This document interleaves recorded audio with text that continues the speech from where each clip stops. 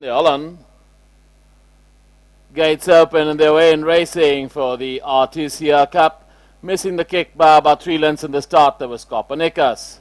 But as they sort themselves out, and it's Mr. Gorgeous in the gold and red jacket with the gold cap, the leader, by about a length and a half in front of Eversham is in second place. A length away, Eversham is no more politics. A length and a half away, no more politics. Bringing up the rear is Copernicus.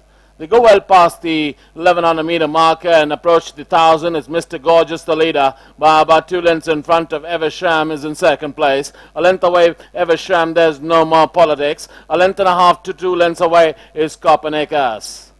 They're passing the 800 meter pole and it's Mr. Gorgeous, Barbara a length in front of Eversham, tracking him all the time in second place. Not too far away, there's no more politics. A gap of two lengths away, no more politics as they go well past the 600 meter pole. There's Copernicus bringing up the rear as they start to negotiate the turn and straighten up for the final run in.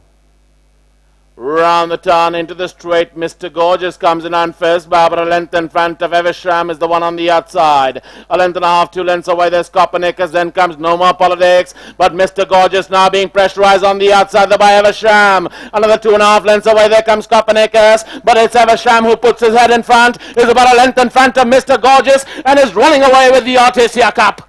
It's all over. Eversham wins this one from Mr. Gorgeous. Then came uh, No More Politics. Last four was Copernicus.